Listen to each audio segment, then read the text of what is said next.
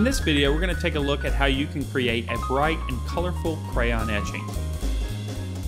You're going to need some materials for this. You're obviously going to need some drawing paper. I suggest using heavier drawing paper, at least 70 pound or greater, and some drawing paper that has a little bit of tooth to it, so a little bit of texture to accept those crayons. You're obviously going to need some crayons. I suggest crayons that have a bit of wax in them, but also are heavy with the pigmentation. Crayola or Prang will work great.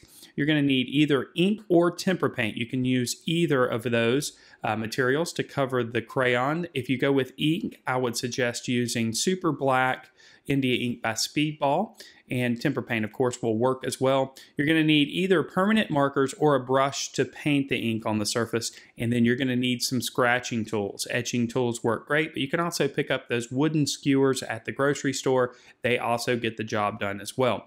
So let's go ahead and get started. The first thing we're going to do is we're going to sketch out our composition and I've noticed that really brightly colored scenes are going to work best for this. So uh, in this case I'm going to do a tropical scene. We're going to have a tropical fish here surrounded by brightly colored things that you might find underneath the ocean. And we're just going to do a line drawing here. We're not going to worry about adding any value or shading. We're just concerned about the overall shapes. We're going to keep the drawing simple. The details are going to come from the patterns that we add when we start to scratch the ink off of the surface. So a very simplified drawing here just using the contour lines. Now that we've got that drawing on the surface, we can go over the top of the lines using ink. Now this is where you would use a permanent marker if you didn't want to brush the ink on. I'm using a brush to brush the ink directly out of the container here onto the surface because that's going to give me a variety of different line qualities here. I'm going to have some lines that are a little bit thicker and some lines that are a little bit thinner. Now it's also important to note that the lines here need to be pretty thick. You don't want to grab that micron pen, for example, and start making the lines because when you start to scratch out the patterns on the surface, you're going to be scratching away a surface that's completely black, either covered with tempera paint or covered with ink. And you're, wanna, you're going to want to know when you run into the edge of something so you can change your pattern. So the lines here are pretty thick, almost like a coloring book.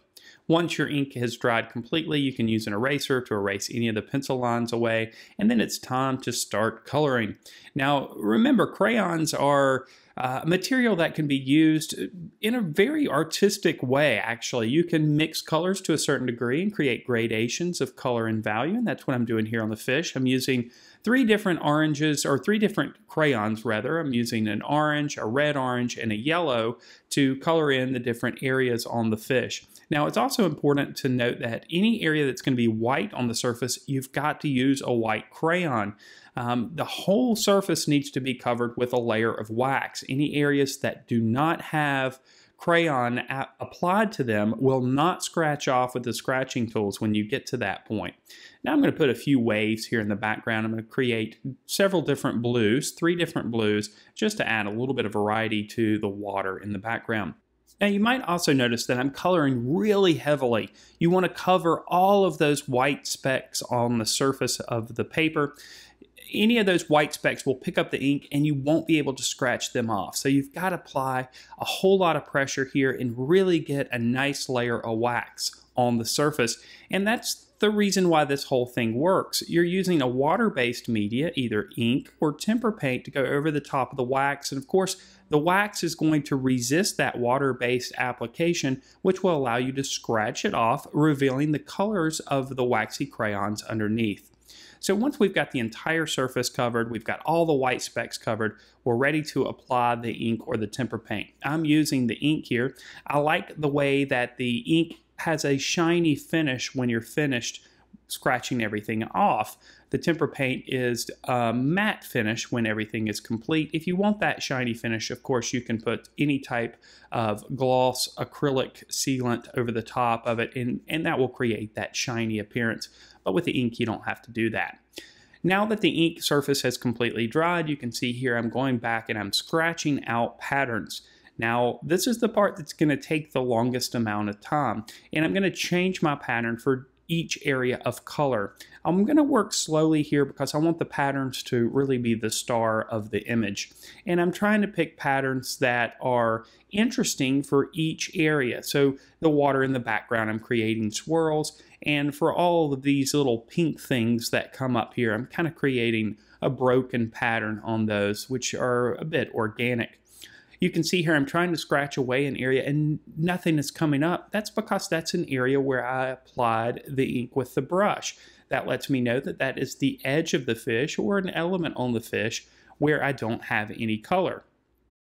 Now I'm also trying to create a pattern that's going to scratch a lot of the ink off, allowing a lot of the color to show through. Since there's so much black in the image, the tendency is the overall image might be a little bit dark. So we want to create patterns that are nice and bold and allow a lot of that bright color to shine through.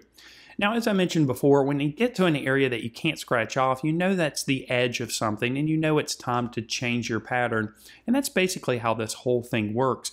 Of course, if you make a mistake, you can always go back and apply more tempera paint or more ink to the surface, but each time you do that, it's a little bit harder to scratch those areas off. You can also lift up your paper and see through it, basically, if you hold it up to light, and you can see those areas where you've outlined different elements within the scene.